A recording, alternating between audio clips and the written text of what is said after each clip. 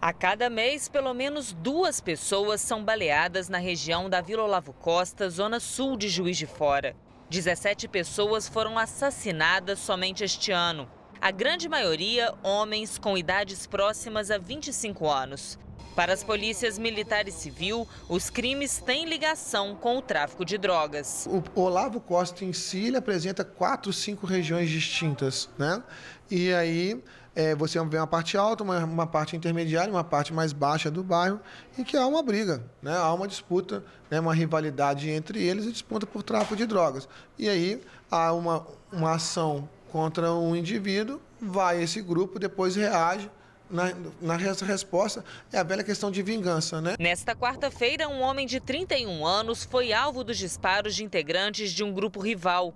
Os tiros acertaram a barriga, nádega e um passou de raspão na cabeça da vítima. O homem estava na rua de cima quando foi baleado. Ele desceu por esse beco e entrou nessa rua. Segundo a polícia, ele é olheiro do tráfico. Aqui no bairro a gente tem diversos locais onde as pessoas né, que são aliciadas pelo tráfico de drogas, eles ficam vigiando a polícia militar e devido à geografia do local, isso favorece com que essas pessoas olhem as viaturas quando elas estão chegando e avisem é, as pessoas que estão fazendo tráfico de drogas no local. O suspeito dos disparos foi preso pela Polícia Militar no mesmo dia. O jovem tem 18 anos e teria envolvimento em outras mortes no bairro.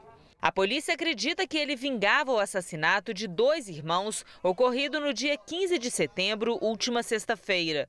As vítimas de 35 e 39 anos foram baleadas em frente de casa por volta das 7 horas da manhã.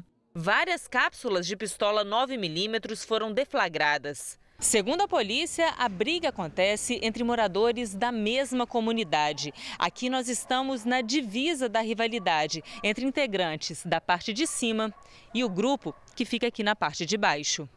Várias casas são interligadas. A geografia das construções facilita a fuga durante as ações da polícia. Nas regiões de maior enfrentamento, é comum encontrarmos casas abandonadas. Esta aqui foi incendiada como retaliação. A moradora Leonília dos Santos Borba, de 39 anos, fez um vídeo das ameaças que sofria. Os jovens estavam armados com pistolas 9 milímetros. Pega esse revólver e enfia dentro do teu Tá filmando? Tô filmando mesmo! Tô filmando mesmo! Minha defesa que eu tenho é essa aqui, fi! Eu não fico com arma dentro de casa, não! Eu troco tiro com ninguém, não, fi! Após o incêndio, a mulher teve que se mudar. Em abril, ela foi executada quando saía de casa, no bairro Bom Jardim.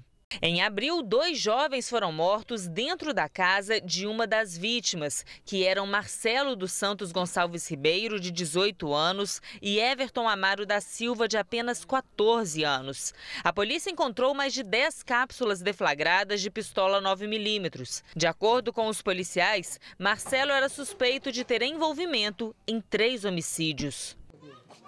Nós temos um mapeamento de todos, de todos os grupos, de todas as pessoas que atuam naquela região. Se a gente consegue provar, a gente encaminha ao Poder Judiciário, inclusive pedindo prisões. Existem vários pedidos dentro do Poder Judiciário. Nem, nem todas as vezes a gente consegue prova efetiva de quem a gente sabe quem são os autores, mas a gente não consegue juntar os autos do inquérito policial essas provas. 99% por causa que a população tem medo desses autores. Né? A gente precisa quebrar essa barreira e nós, é fala, hoje, né, a Polícia Civil, né, no caso da, é fala, da, da Delegacia de Homicídios, a gente tem um mecanismo que a gente mostra para a sociedade que vem sendo utilizado cada vez mais, que é a questão da testemunha reservada, velada. Ela presta depoimento aqui, ela não vai ser qualificada.